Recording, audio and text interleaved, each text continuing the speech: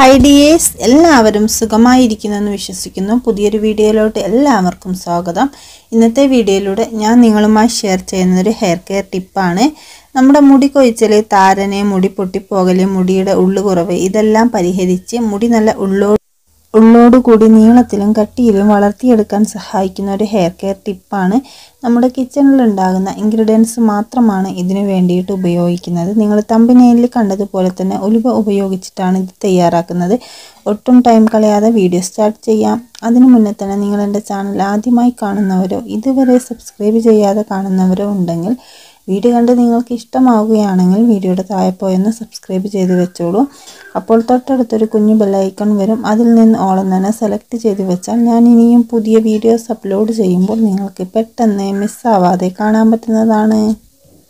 ഈ home remedy നിങ്ങൾക്ക് try ചെയ്ത് നോക്കണമെന്ന് ആഗ്രഹിക്കുന്നവരാണെങ്കിൽ നിങ്ങൾ വീഡിയോ സ്കിപ്പ് ചെയ്യാതെ കാണാൻ ശ്രമിക്കുക. എന്നാൽ മാത്രമേ ഇത് തയ്യാറാക്കേണ്ട വിധവും ഉപയോഗിക്കേണ്ട വിധവും നിങ്ങൾക്ക് മനസ്സിലാവുകയുള്ളൂ.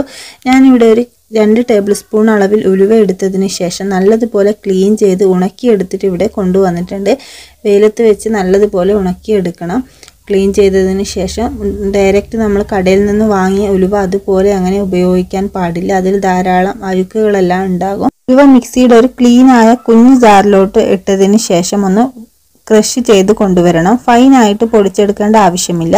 ഇതൊരു തരിതരിയോട് കൂടിയിട്ടൊന്ന് ക്രഷ് ചെയ്തെടുത്താൽ മതി. ഇതുപോലെ പൊടിച്ചെടുത്താൽ മതി. അതിനുശേഷം നമുക്കൊരു പാനാണ് ഇവിടെ ആവശ്യമായിട്ടുള്ളത്. ഒരു ക്ലീൻ ആയ പാൻ എടുത്തതിന് ശേഷം നമുക്കത് സ്റ്റൗ ഒന്ന് ഓൺ ചെയ്ത് കൊടുക്കാം. ഇനി ഇതിലോട്ട് വേണ്ടത് ഈ കപ്പിന് ഒരു കപ്പ് അളവിൽ വെളിച്ചെണ്ണയാണ് നല്ല ചക്കിലാട്ടിയ ശുദ്ധമായ വെളിച്ചെണ്ണയാണ് ഞാനിവിടെ എടുത്തിട്ടുള്ളത്. അതിനുശേഷം നമ്മൾ ഇത് പൊടിച്ചെടുത്ത ഉലുവയുടെ പൊടി ഒരു രണ്ട് ടീസ്പൂൺ അളവിൽ ഇതിലോട്ട് ആഡ് ചെയ്ത് കൊടുക്കാം.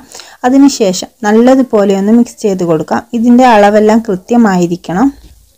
ഞാനിവിടെ എടുത്തിട്ടുള്ളത് ഏകദേശം നൂറ് എം എൽ വെളിച്ചെണ്ണ ഉണ്ടാകും നൂറ് എം എൽ വെളിച്ചെണ്ണയ്ക്ക് രണ്ട് ടീസ്പൂൺ പൊടിച്ച ഉലുവയാണ് ഇവിടെ ആഡ് ചെയ്ത് കൊടുത്തിട്ടുള്ളത്. കൈ എടുക്കാതെ ഇങ്ങനെ നല്ലതുപോലെ ഇളക്കിക്കൊണ്ടിരിക്കണം.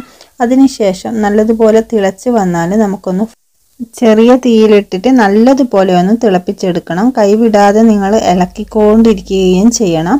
അപ്പോൾ നല്ലതുപോലെ ഈ പതയെല്ലാം ഇതിൽ നിന്ന് മാറിയതിന് ശേഷം ശേഷം മാത്രമേ ഫ്ലെയിം ഓഫ് ചെയ്യാൻ പാടുള്ളൂ. അതുവരെ നല്ലതുപോലെ ഒന്ന് ഇളക്കിക്കൊണ്ടിരിക്കണം. ഫുൾ ഫ്ലെയിമിലിട്ടിട്ട് ഇത് കരിച്ച് കളയാൻ പാടില്ല. അപ്പോൾ നിങ്ങൾക്ക് എണ്ണയുടെ ഗുണങ്ങളൊന്നും കിട്ടുകയില്ല. അപ്പോൾ നമ്മുടെ എണ്ണ ഇവിടെ പാകമായി വന്നിട്ടുണ്ട്. ഇതിന്റെ പതയെല്ലാം മാറി കിട്ടിയിട്ടുണ്ട്. ഇനി ഞാനിവിടെ ഫ്ലെയിം ഓഫ് ചെയ്ത് കൊടുത്തിട്ടുണ്ട്. അതിനുശേഷം നമുക്കിതൊന്ന് ചൂടാറാൻ വേണ്ടിയിട്ട് മാറ്റി വെക്കണം. ചൂടാറിയതിന് ശേഷം നമുക്കിതിലോട്ട് ഇനി ഇതൊന്ന് അരിച്ച് മാറ്റിയിട്ട് ഒരു ക്ലീനായ ബൗളിലോട്ട് മാറ്റി കൊടുക്കണം.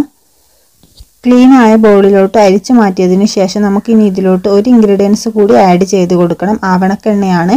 നൂറ് മില്ലി വെളിച്ചെണ്ണയുടെ എണ്ണ നമ്മൾ തയ്യാറാക്കുമ്പോൾ അതിലോട്ട് പത്ത് മില്ലി ആവണക്കെണ്ണയാണ് ആഡ് ചെയ്ത് കൊടുക്കേണ്ടത്.